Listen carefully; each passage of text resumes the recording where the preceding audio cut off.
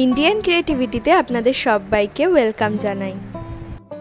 আজকে আমি বানাচ্ছি তালের বড়া, আর তালের পাল বের করা থেকে পুরো তালের বড়া বানানো অবধি ভিডিওটি আপনাদের সাথে শেয়ার করছি। প্রথমেই আমি এখানে একটা তাল নিয়ে নিয়েছি। খেয়াল রাখবেন, যখন তাল কিনবেন, তালটা যদি কালো হয় সেই তালের কোয়ালিটিটা খুব ভালো হয়, আর সেটা খুব মিষ্টিও হয়।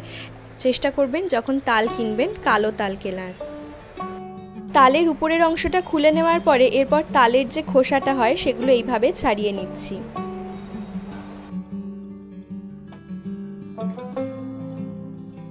তালের খোসাগুলো ছাড়ানো হয়ে যাওয়ার পরে এরপর তালের আটিগুলো এইভাবে একটা একটা করে আলাদা করে দিচ্ছি।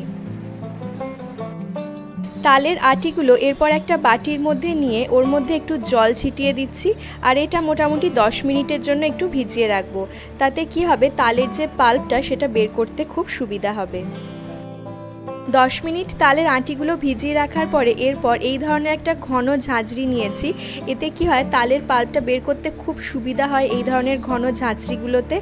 আর এই ঝাঁঝরিটা যদি অ্যাভেলেবেল না থাকে, তাহলে এই ধরনের থালা বা এই ধরনের বাটিও আপনারা ইউজ করতে পারেন। তবে এই ধরনের ঝাঁঝরিতে খুব তাড়াতাড়ি তালের পাল্পটা বের করা যায়। যদি অ্যাভেলেবেল না থাকে, তাহলে ওই ধরনের থালা বা বাটিও আপনারা ব্যবহার করতে পারেন।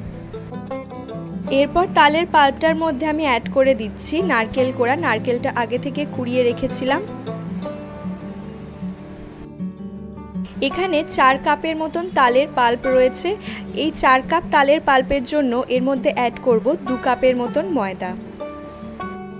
আপনারা যতটা তালের পাল্প নিচ্ছেন সেই অনুযায়ী কিন্তু ময়দার কোয়ান্টিটিটাও কম বেশি হবে। এরপর এর মধ্যে অ্যাড করছি ওয়ান অ্যান্ড হাফ কাপের মতন চিনি। আর দিচ্ছি এক কাপের মতন সুজি। আপনাদের কাছে যদি মেজারিং কাপ অ্যাভেলেবেল না থাকে, তাহলে চায়ের কাপে মেপেও কোয়ান্টিটিগুলো অ্যাডজাস্ট করতে পারে এরপর এর মধ্যে অ্যাড করছি দুই চা চামচের মতন মৌরি। মৌরি দিচ্ছি এর কারণ হলো, তালের বড়া খেলে অনেক সময় ডাইজেশনের প্রবলেম হয়। কিন্তু মৌরি দেওয়া থাকলে সেই প্রবলেমটা একদম সলভ হয়ে যায়, আর যত ইচ্ছা তালের বড়া খাওয়া যায়।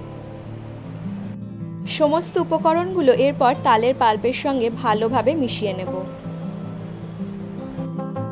এখানে সুজির বদলে কিন্তু আপনারা চালের গুঁড়ো অ্যাড করতে পারেন।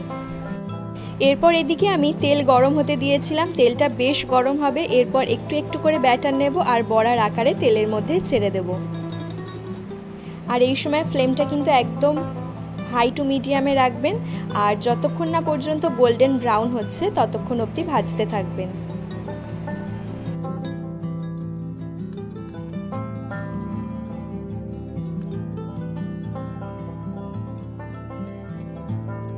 তালের বড়াগুলো সুন্দর গোল্ডেন ব্রাউন কালার হয়ে গেছে। এরপর তেল থেকে তুলে নিয়ে আমি একটা টিস্যু পেপারের ওপর নিয়ে নিচ্ছি যাতে এক্সট্রা অয়েলটা এগুলো অ্যাবজর্ব করে নেয়। প্রত্যেকটা ব্যাচই এরপর এক এক করে ভেজে নেব। মোটামুটি চার থেকে পাঁচ মিনিট মতন সময় লাগবে এক একটা ব্যাচ হতে। ভিডিওটি ভালো লাগলে চ্যানেলটি প্লিজ সাবস্ক্রাইব করবেন আর একটা লাইক দিয়ে যেতে ভুলবেন না। কেমন লাগল অবশ্যই কমেন্ট করে জানাবেন। ধন্যবাদ।